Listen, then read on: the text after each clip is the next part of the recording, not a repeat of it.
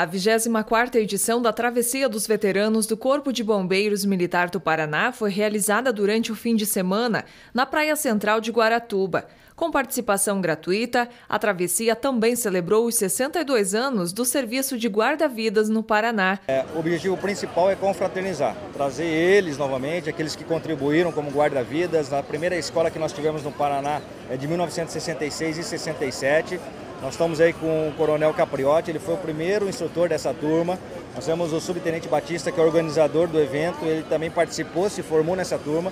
Então é um momento histórico de confraternizar, das pessoas novas entender toda aquela dinâmica que acontecia no passado, aquelas dificuldades do salvamento, que muitas vezes não se tinha equipamento, era tudo muito difícil, então essas pessoas que estão entrando hoje precisam ter essa noção justamente para valorizar o que nós temos hoje de melhor, de equipamento, né, de estrutura. 100 bombeiros da ativa e da reserva participaram da prova. O pessoal vem do Paraná inteiro, né, nós temos aí de Cascavel, Foz do Iguaçu, Maringá, então são vários guarda-vidas que contribuíram no passado e agora estão é, aqui para a gente confraternizar. O percurso foi de 400 metros. Olha, hoje o mar estava mexido.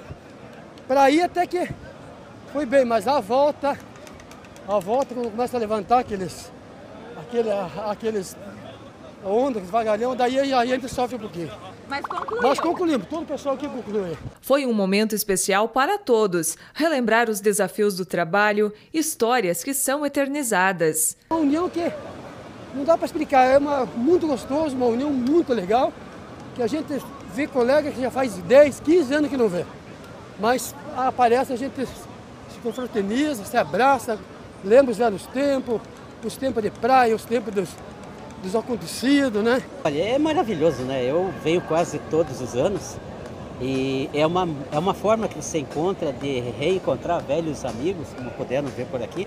A travessia em si ela é bastante curta, mas a oportunidade que você tem de matar saudade, conversar, aqueles teus colegas de farda, né? Que ombrearam com você a ambulância, a BTR, Centro Florestal, mesmo operações verão, Tive a oportunidade de trabalhar aqui em Guaratuba como guarda-vidas, em Matins como guarda-vidas, e agora você veio como veterano, vê os jovens que estão ocupando os postos que um dia aqui foram seus também, né? Então você se sente muito em casa e só resta para gente parabenizar todos aqueles que tornam uma experiência como essa possível.